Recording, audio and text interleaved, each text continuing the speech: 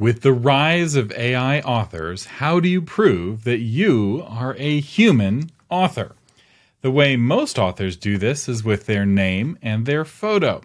Your identity provides protection from being called a bot writer. But what if you use a pen name? Will AI bring an end to the age of the pen name? Find out in this episode of Novel Marketing, the longest running book marketing podcast in the world.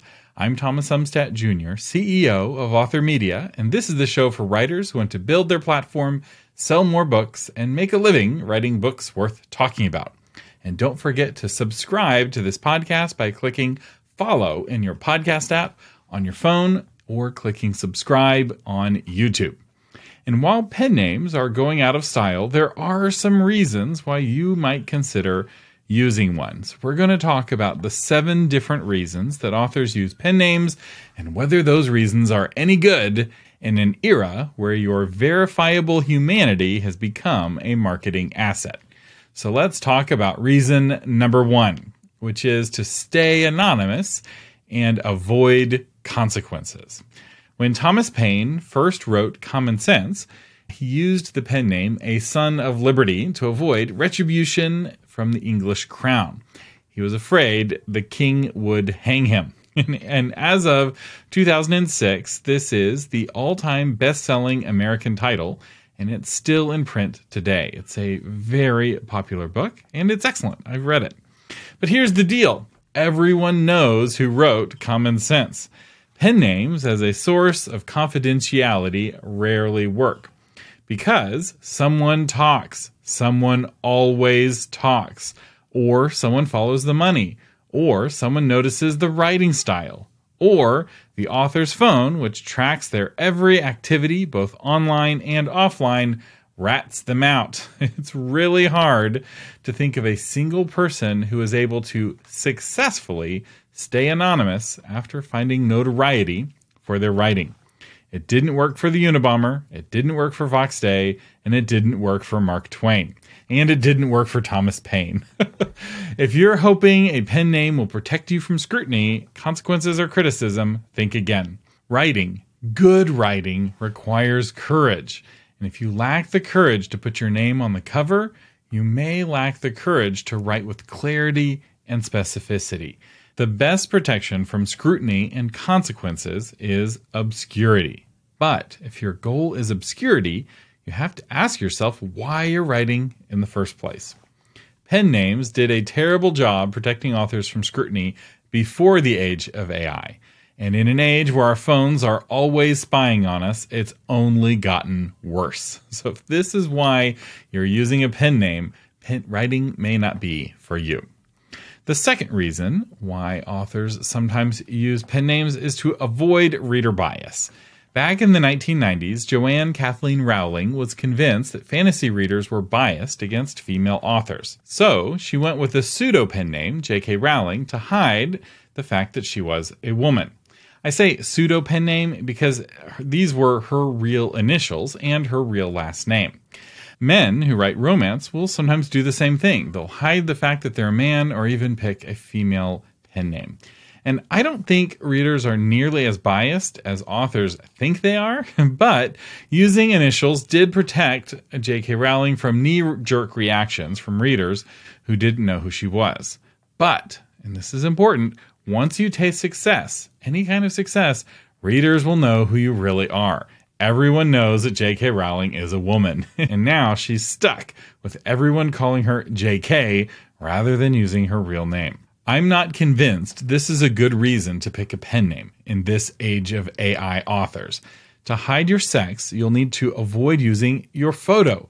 And with no photo and no real name, you start to look a lot like an AI author rather than a human author. The third reason why authors sometimes will pick a pen name is to simplify the spelling. Some names are easier to spell than others. Trust me, I get it. No one can spell Umstattd correctly without seeing it first. I've had a $5 bet on this since I was in college, and no one has collected on the money. But back when things were on paper, an unusual spelling could be a real impediment. But unusual spellings are now an asset. Computers are much better at variant spellings. If you type in Thomas Umstattd but spell it incorrectly, if you type that into Google, any near misspelling will still find me. In fact, Google will start to suggest the correct spelling as you type in my name. Also, unusual spellings can help, like I said, because you're more likely to grab the .com if you have an unusual name. You're also more likely to be the only author with that name, which can avoid confusion. The more common your name is, the more likely there is another author with your same name. So I think trying to simplify the spelling of your name is a terrible reason to use a pen name.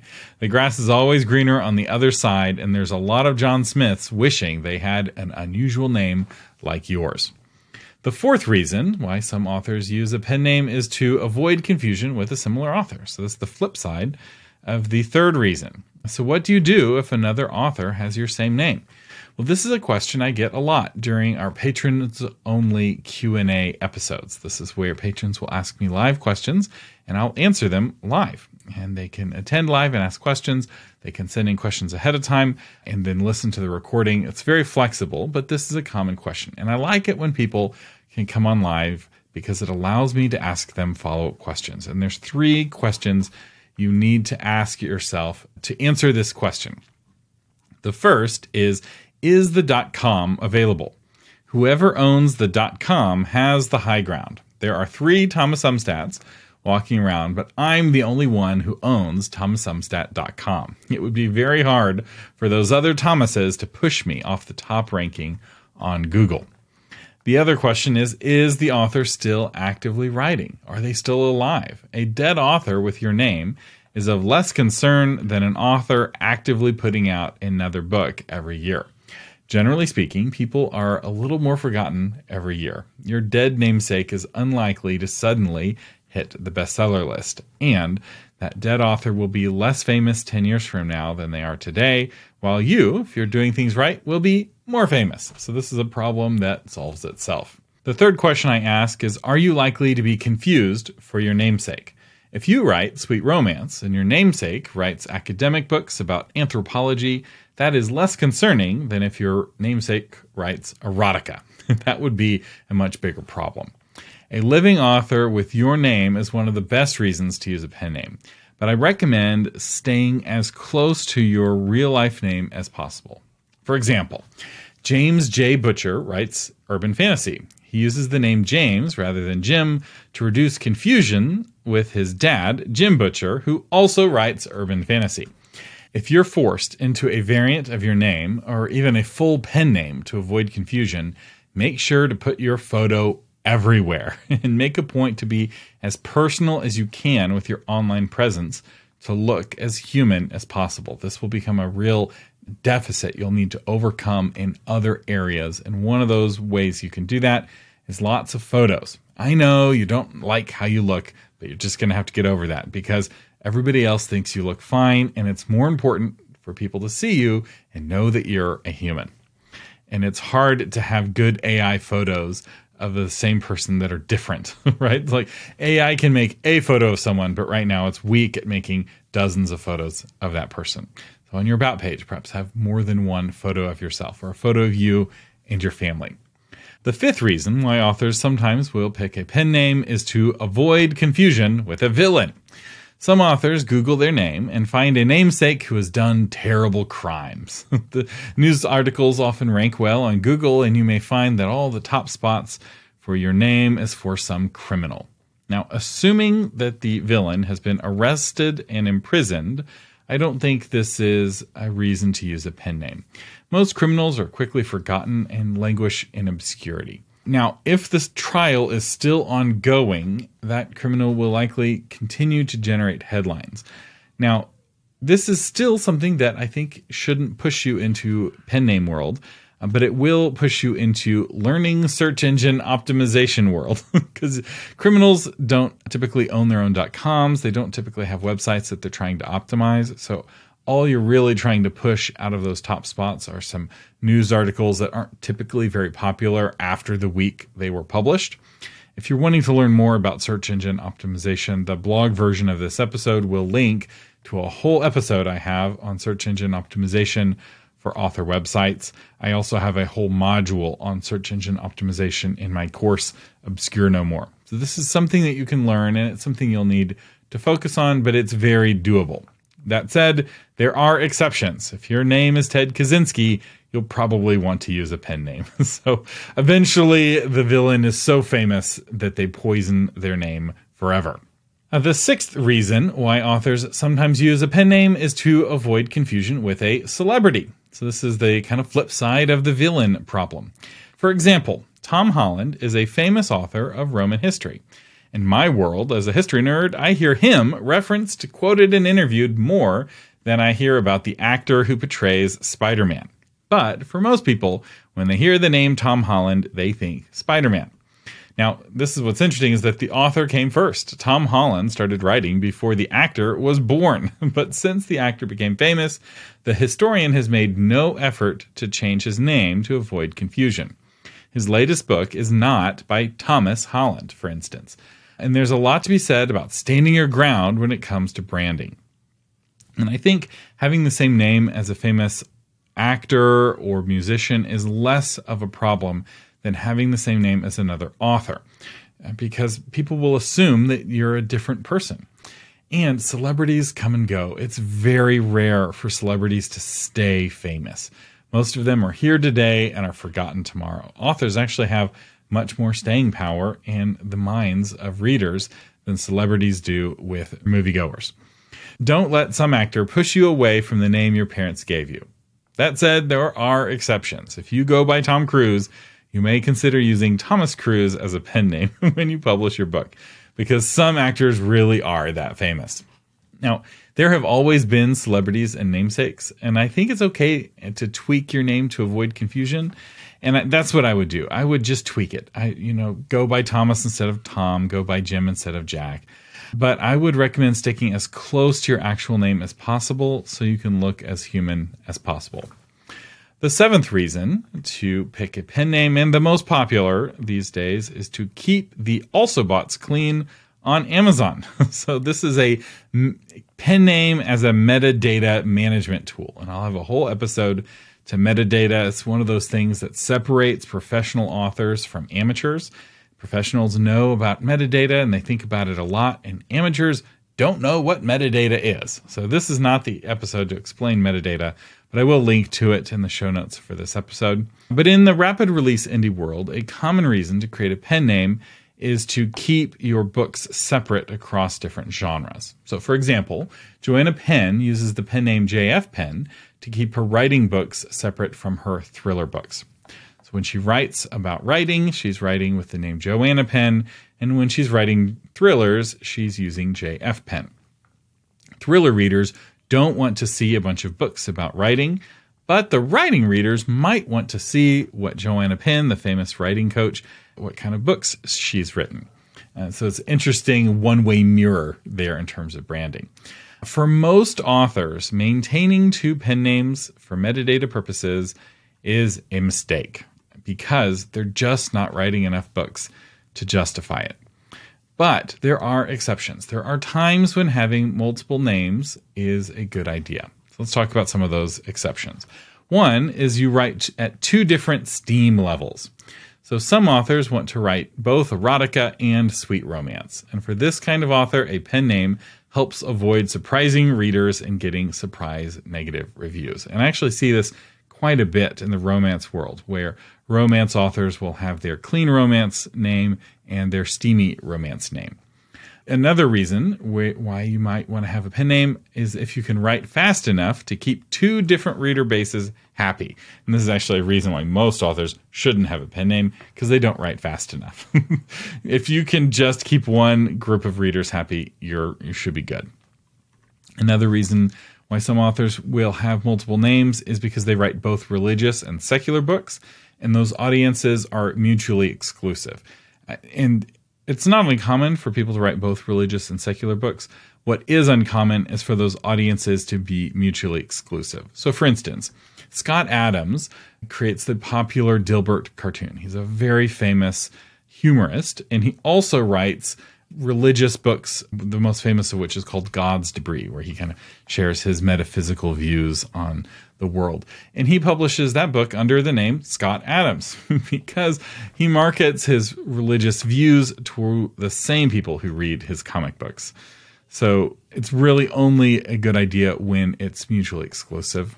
And occasionally that is the case. Another reason why you might want multiple pen names is because you write about writing. Readers don't want to read books about writing, and they don't want to read books by people who write about writing. It makes you sound academic and boring. They want to read books by thriller authors or romance authors, not by writing teachers. And that brand doesn't make you more appealing in the eyes of a reader. There's, there may be other exceptions, and if you can think of one, do leave a comment below this episode, and I might add your exception to the uh, later versions of the blog version of this episode. If I, if I think it's a really good exception, I'll, I'll add it to the list. If this is you and you have multiple pen names because you write really fast, you want to write in multiple genres, I would not try to hide behind those pen names. Be very obvious about who you are and who you're and use your human photo on both websites, right? Don't have this is the AI version of me and this is the human version of me. No, no, no.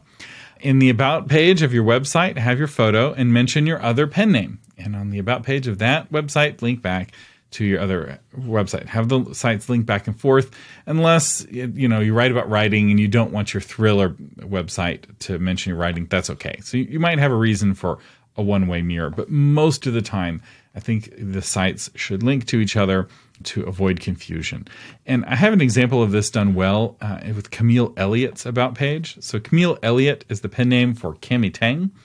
And on the About page, you can see her photo. She, Camille Elliott is her Regency Romance pen name. And on her About page, she has a photo of her wearing a Regency Romance dress, which is brilliant because that really communicates this is a real human person. because if you asked AI to make a Regency romance uh, photo of an author, it would likely set that person in a, a Regency time period, not, not be a photograph. So while uh, Cami Elliott has a pen name, the About page makes it very clear that she's a human and that these pen names are to reduce confusion. So let me know what you think. Are there other reasons to have a pen name? Do you disagree that pen names are going out of fashion because of the rise of the AI authors? Let me know in the comments on authormedia.social or below this episode. Our featured patron today is Darlene Corbett, author of Visible. Widowed, childless, and estranged from family, Rachel wonders if she'll ever have a second chance at love. When her own therapist suggests she get back in the game, she enrolls in dance classes to learn the tango. Romantic, passionate, and dramatic, the tango embodies everything missing in Rachel's life. But as Rachel becomes entwined with Michael, her handsome dance partner, she's forced to face her own brokenness. Can Rachel find the courage to let go of her past? Or will her insecurities and fears continue to hold her back? Find out in Visible by Darlene Corbett. And Darlene, thank you so much for being a patron. Thank you for your support that helps keep this podcast on the air. I appreciate it now more than ever. Why? Well, because we are now in our third trimester. That's right. Baby number four is just around the corner, and my poor wife started her third trimester just before the Texas summer officially started. Of course, summer in Texas has unofficially been going on all year, but the heat of the summer is now here, and our air conditioner has been set to numbers to which have never been seen before. and so I'd just like to thank all of the patrons who support the show. You support our family, and I really, really appreciate it. The Novel Marketing Podcast is a production of authormedia.com. Audio engineering is by William Umstattd. The blogification is by Shauna Lettler. And to read the blog version of this episode, visit authormedia.com slash 423. I'm Thomas Umstattd Jr. saying thank you for listening and live long and prosper.